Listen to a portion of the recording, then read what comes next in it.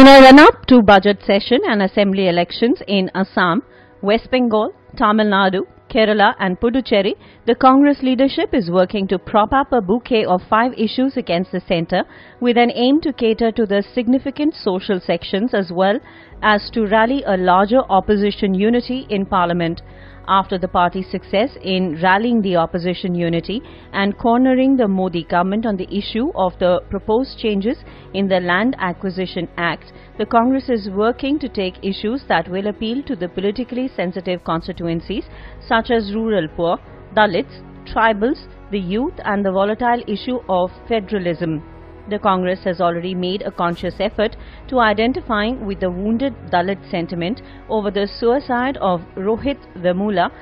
with party Vice President Rahul Gandhi making two quick visits to the Hyderabad Central University campus.